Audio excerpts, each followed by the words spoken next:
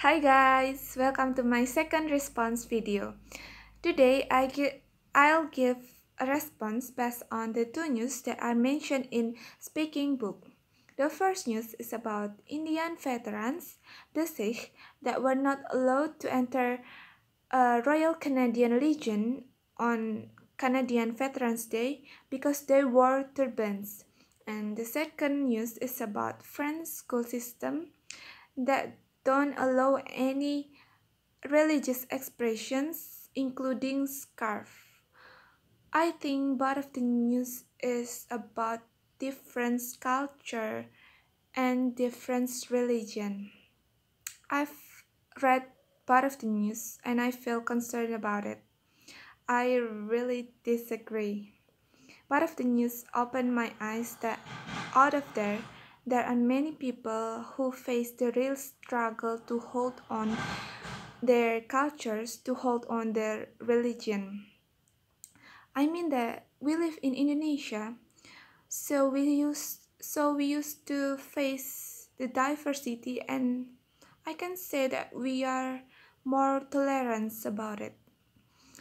Even though I found that nowadays people are getting careless about others' human right. Uh, they begin to do anything they want to do and without thinking that it can be a discrimination. We are human and we have human rights. We can do anything, we can wear anything as long as it doesn't it doesn't disturb other humans' right.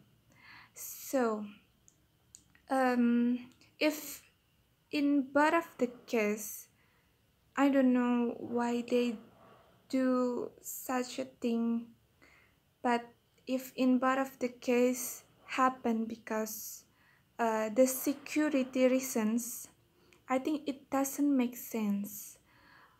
Uh, it just seems like they mistrust each other. When we talk about religion, when we talk about culture, is it is a real it is a very private and sensitive thing to talk about.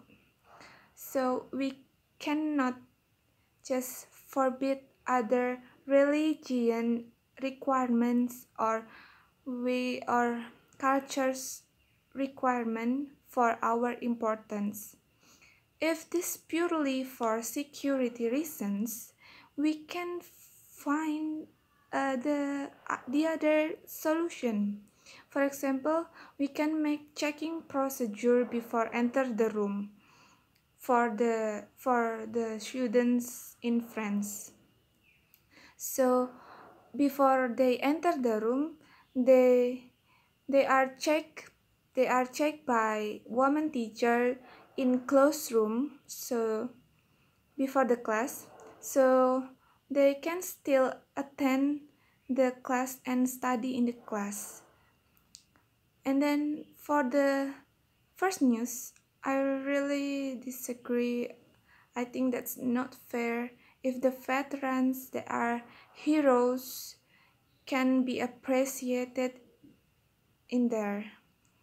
I think I mean what uh what I what we are what we what we need to do is be open-minded. So when we found the differences be, between our our culture with other or our religion with other we can just be open-minded and don't forbid other uh, culture or other religion requirements.